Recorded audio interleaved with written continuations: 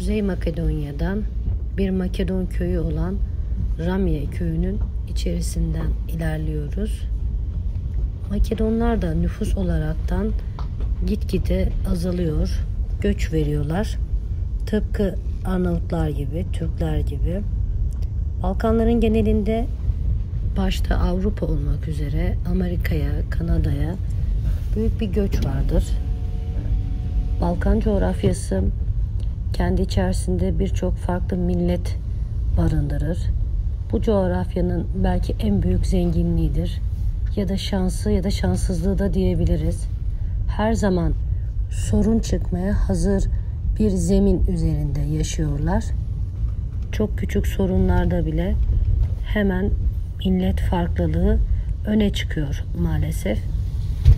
Makedonya bence Yugoslavya'nın dağılmasından sonra küçük bir Yugoslavya, Yugoslavya minyatürü şeklinde etraftaki diğer Balkan ülkelerine bakıldığında en çok farklı milletin yaşadığı ülke burası.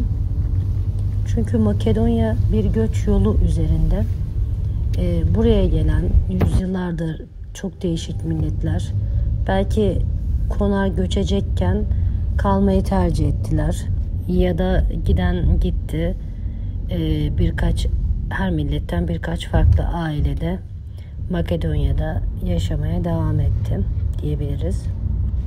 Makedon köylerine de baktığımızda e, yaşlıların hakim olduğunu görüyoruz. Gençler çok büyük oranda gidiyorlar. Hele meslek sahibi olanlar e, en azından etraftaki e, Avrupa ülkelerine görevlerini orada yaşamayı tercih ediyorlar.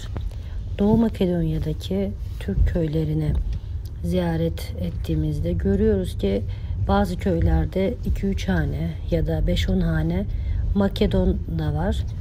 Onlar da e, kendi hallerinde yaşıyorlar. Ama birbirlerine çok karıştıkları ve e, konuştukları söylenemez. Bence bütün köylerin üzerinde büyük bir terk edilmişlik durumu söz konusu.